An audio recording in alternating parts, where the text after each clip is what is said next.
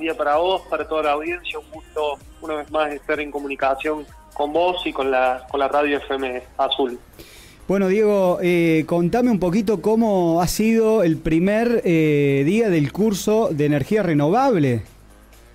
Bueno, la verdad que con una alta expectativa, no solo de, parte nuestra, desde el municipio, sino también por los asistentes, los alumnos, el profesor, la verdad, Víctor, eh, Víctor Carvajal, él es justamente especializado en todo lo que es energías renovables, justamente en fotovoltaicas, eh, y la verdad que los alumnos con una expectativa muy grande, que si bien era la presentación, es decir, eh, ayer desplegamos el aula eh, terminando justo antes de comenzar, donde él les hizo más o menos una introducción de cómo iba a ser esta capacitación, esta profesión, porque recordemos, no, no va a ser un oficio, sino una profesión donde se van a especializar, obviamente, y la idea justamente era que pudieran estar las dos comisiones juntas para que más o menos pudieran también conocerse tanto eh, los alumnos como también con el profesor. Entonces fue la introducción y hoy ya día martes comenzamos con las clases eh, a partir de obviamente las comisiones ya fijadas, digamos. Claro, eh, y comentame un poquito cómo fue, digamos, la atención de aquellos que participan de este curso que es algo fantástico con una mirada del presente y del futuro. Sí, totalmente. todos fueron obviamente con una con una predisposición y también quedaron maravillados de ver que en el aula móvil cuentan con todo. Entonces también fue una, una expectativa grande porque ellos eh, podían ver, palpar eh, todo lo que contaba justamente el aula móvil. De hecho, el profesor, si bien no desplegó todo, al hacerle una introducción, podían ver ahí inclusive cómo el sistema solar, digamos, hizo como una introducción y un pantallazo de en qué la iban a utilizar, para qué le iban a servir el curso, a dónde se podían orientar después con salida laboral también los, asistentes. Entonces fue como un pantallazo grande donde pudieron visibilizar y aprender un poco, que si bien lo van a desarrollar a manera más eh, general eh, y específica, acá fue una macro donde le explicó eh, muy bien Víctor, el disertante que va a ser el profesor durante estas 40 clases que van a tener, les hizo un, pantallazo donde la verdad quedaron todos fascinados y motivados ya para hoy poder comenzar con las clases, digamos, de, las dos comisiones. Claro. Eh, Diego, eh, ¿me podés decir un poquito con respecto a los detalles que daba en la inserción laboral? Eh, ¿Cómo era, cuál fue la explicación, a dónde son los, los ámbitos que le abre un pantallazo a todos aquellos que están formando este, bueno, que han integrado este grupo de capacitación, ¿no? Para, para sumarse. Bien, como bien explicó el profesor, al tener ellos una certificación nacional que es del INET, que es el Instituto Nacional de Energía Tecnológica, digamos, de Educación Tecnológica, perdón, eh, lo que va a hacer es darle una validez nacional e inclusive después ellos, ante el colegio de escribanos, lo revalidan y pueden ejercer, digamos, esta profesión en distintas partes del mundo, digamos, si ellos desean. ¿Qué es lo que van a ejercer? Tanto el mantenimiento, ya sea de lugares donde esté instalada esta energía fotovoltaica, como también la instalación, es decir, que hagan todos los pasos, pueden hacer instalación, reparación, mantenimiento, digamos,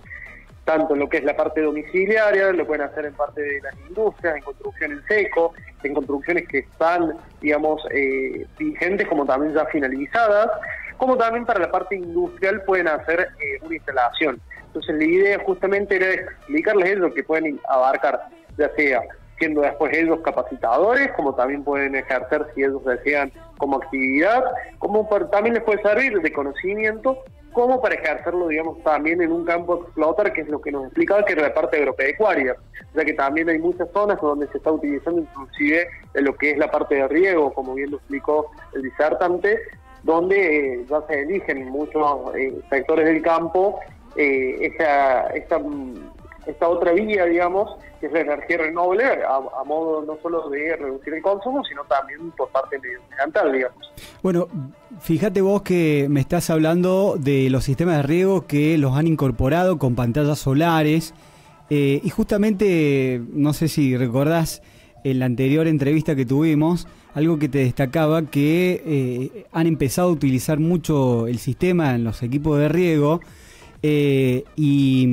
seguramente, bueno, el profesor ha hecho mucha hincapié porque son fácil de mantenimiento, eh, sabemos que la zona, hay veces donde se meten los equipos de riego, y no solamente, vos sabés, digo, en el tema de equipo de riego, sino hay veces con alarma, con cámaras de seguridad, o, tener alguna conectividad de, internet y, cómo haces, digamos, para llevar ese suministro de energía, tanta tirada de cable y demás. entonces podés tener digamos, eh, el montaje de un sistema solar, eh, como quien dice, algo portátil, inalámbrico, como también han empezado a utilizar mucho, hablando un poquito más del campo, eh, con respecto al tema de los pozos de, agua, la extracción de, agua, los molinos los han dejado de, utilizar y bueno, han empezado a incorporar lo que es pantalla con el sistema de bomba, donde tienen energía y es algo muy fantástico para, la zona agropecuaria, hablando un poquito del campo. Totalmente, no solo, como bien lo decías, las bombas es, fantástico, inclusive con todo lo que consume, también lo que son los boderos eléctricos para la parte de la ganadería. Sí, también. Mucho.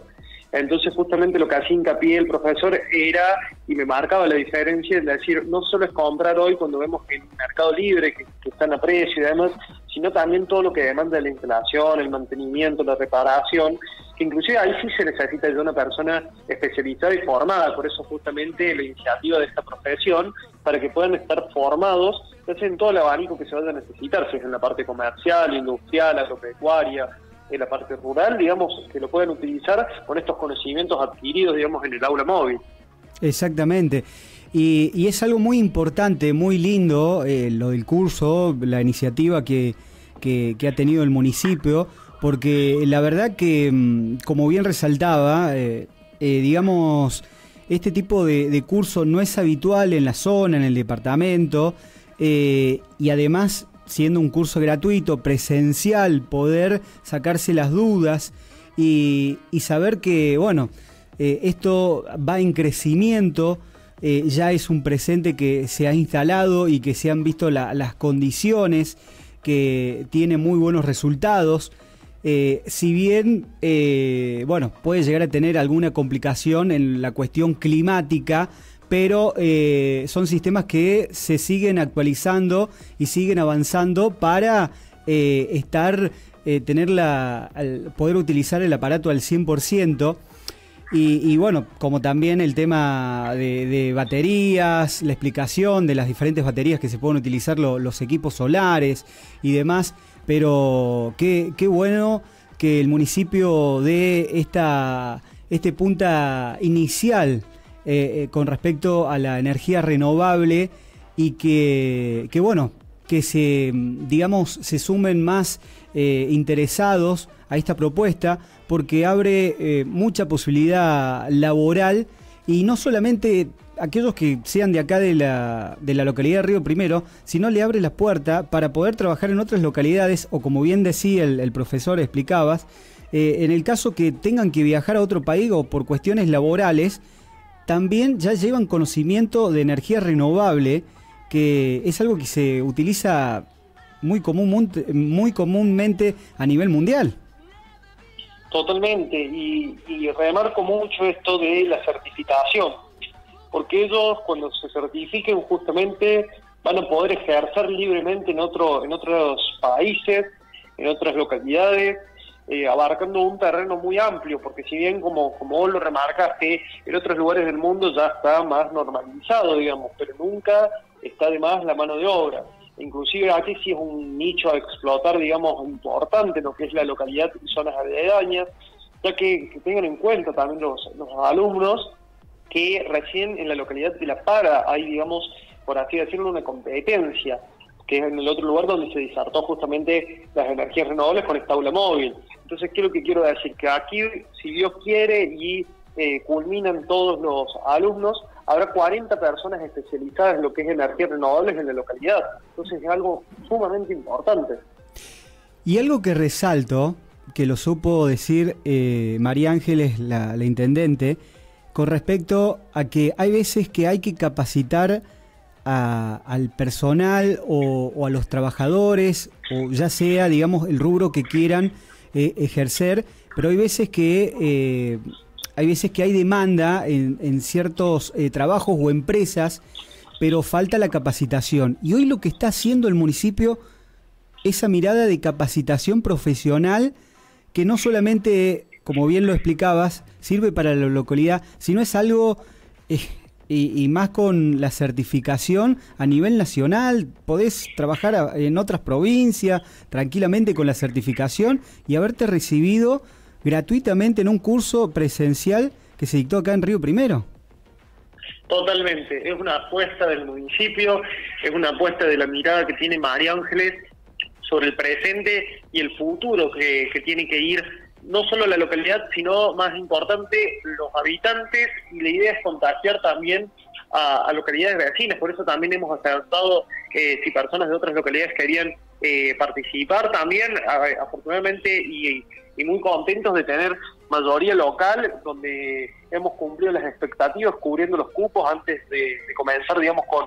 con, lo que era el cursado. Entonces estamos muy contentos por eso de apostar justamente a lo que es renovable y dar una mano siempre al, medio ambiente. Exactamente. Bueno, Diego, te agradezco la atención. ¿Algo más que quieras explayar? Eh, muy buena noticia, has brindado en esta mañana y siempre cuando tenemos el contacto son buenas noticias y es algo alentador para la mirada futurista que, que tiene la, ciudad de Río Primero. Bueno, Luis, obviamente animar a la gente que, se anime a apostar, que, diga, bueno, quiero hacer una inversión como bien lo decías vos eh, cuando estuve ahí en la radio. Vos te animaste y hoy ya contás con una parte solar donde estás utilizando en tu, en tu domicilio. Entonces, decirle a las personas que se animen también a, confiar en estas energías renovables y sobre todo apostando la mano de obra local, ya que van a tener dentro de dos meses eh, capacitación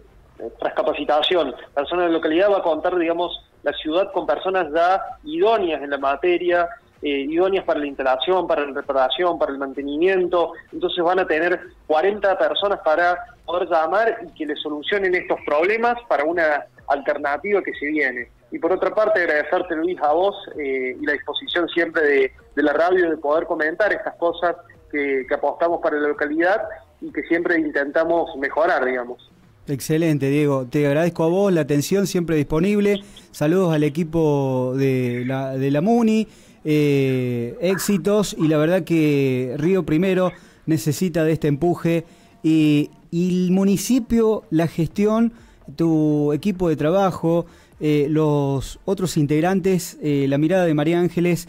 es algo que favorece muchísimo y son esas miradas que de ver el, el panorama y, saber lo que se viene, lo que se está instalando. Eh, bueno, para hacerlo un poquito corta, he visto algunos edificios de, digamos, de, otras localidades, eh, instituciones donde ya están usando el sistema solar, reduciendo, digamos, el consumo eléctrico, también ayudando al medio ambiente y demás o hay veces por eh, alguna cuestión que se vaya a cortar la energía, sabes que podés seguir teniendo, manteniendo energía, eh, lo importante que es la, energía renovable, sabemos eh, lo importante que es para los hospitales, que hay veces que aparatos que tienen que funcionar sí o sí y, y gente que depende de, la energía y, digamos aquellos ingenieros capos de, esto, de hacer este, este proyecto, inventarlo y que ha tenido grandes frutos, ¿no? De poderlo disfrutar y, expandirlo, ¿no? Para que sea eh, accesible o alcanzable para, para muchos. Totalmente, Luis, totalmente. Inclusive el profesor diseñó este proyecto, entonces, qué mejor que contar con la persona más idónea en la, materia. Así que va a ser un gusto contar con 40 alumnos durante 40 clases y que se capaciten y formen. Bueno, muchísimas gracias Diego, que tengas excelente jornada y que sigan los éxitos. Felicitaciones.